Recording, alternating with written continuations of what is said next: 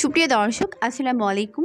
Welcome back to my channel cooking studio by Arin আজকের পর্বে আপনাদেরকে প্রচণ্ড গরমে কলিজা ঠান্ডা করার মতো দারুণ মজার একটি ডেজার্ট রেসিপি তৈরি করে দেখাবো।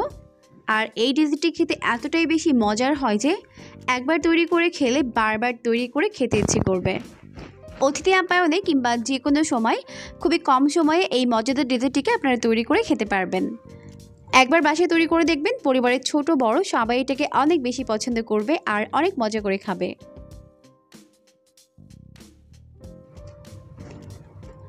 এই ডেজার্টটি তৈরি করার জন্য আমি চুলায় একটা প্যান বসিয়ে দিয়েছি আর এর মধ্যে দুই কাপ পরিমাণ পানি দিয়ে পানিটাকে ভালো মতো ফুটিয়ে নিয়েছি।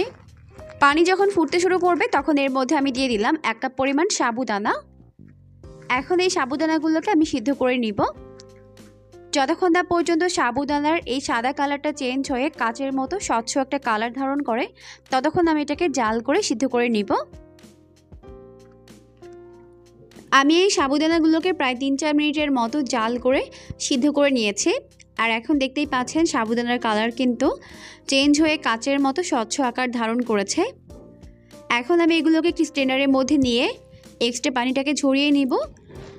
এরপরে সাবুদানাগুলোকে আমি কয়েকবার নর্মাল পানি দিয়ে ধুয়ে ঠান্ডা করে নিব। তো এখন চলে যাচ্ছি পরবর্তী স্টেপে।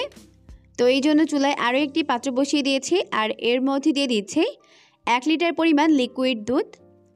আমি এখানে গরুর তরল দুধ ব্যবহার করেছি, তবে আপনারা চাইলে এখানে গুঁড়া দুধ পানিতে গুলে সেটাকেও ব্যবহার করতে পারবেন। সেক্ষেত্রে এক কাপ গুঁড়ো দুধের সঙ্গে তিন কাপ পানি মিশিয়ে নিলেই হবে। তো এখন আমি এটাকে ভালো মতো জাল করে বলক উঠিয়ে নিব।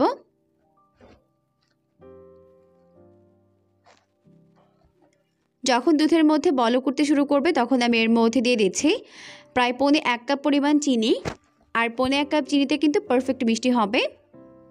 তবে আপনারা যদি হালকা মিষ্টি খেতে পছন্দ করেন, সেক্ষেত্রে এখানে হাফ কাপ চিনি ব্যবহার করবেন। এখন মিষ্টির ব্যালেন্স ঠিক রাখার জন্য এর মধ্যে আমি দিয়ে দিয়েছি চিমটি পরিমাণে লবণ। তবে যারা মিষ্টি খাবারে লবণ খেতে পছন্দ করেন, তারা দিবেন, আর না চাইলে বাদ দিতে পারেন। তো এই দুধটিকে আমি জাল করে এক লিটার দুধ, হাফ লিটার করে নিয়েছি। এখন এটাকে আমি চুলা থেকে নামিয়ে ঠান্ডা করে নিব। এখন আমি এখানে আরও একটি বোল নিয়েছি, আর এই বোলের মধ্যে দুই চামচ পরিমাণ তোকমা দানা বা তোকমা সিডস নিয়েছে। আর এই তোকমা সিডস আপনারা যে কোনো সুপার শপ বা বড় মুদি দোকানেই পাবেন। আর তোকমা দানা কিন্তু আমাদের স্বাস্থ্যের জন্য খুবই হেল্পফুল তো এখন এর মধ্যে দু চামচ পরিমাণ পানি দিয়ে এটাকে আমি রেখে দিচ্ছি পাঁচ মিনিটের জন্য। এখন আগে থেকে যে দুধটিকে আমি জাল করে নিয়েছিলাম, ওটাকে ভালো মতো ঠান্ডা করে নিয়েছে। এরপর এখন আমি এর মধ্যে যে সাবুদানাগুলোকে সিদ্ধ করে ধুয়ে রেখেছিলাম, ওগুলোকে দিয়ে দিচ্ছি। আর এই পর্যায়ে কিন্তু দুধ এবং সাবুদানা দুটোই ঠান্ডা থাকতে হবে। দুধের মধ্যে সাবুদানাগুলোকে দেওয়া হয়ে গেলে এখন একটি হ্যান্ড উইক্স দিয়ে এগুলোকে ভালো করে মিশিয়ে নিচ্ছি।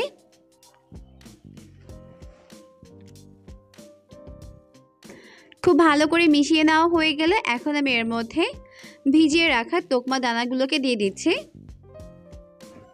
এরপর আবারও খুব ভালো করে মিশিয়ে নিচ্ছি।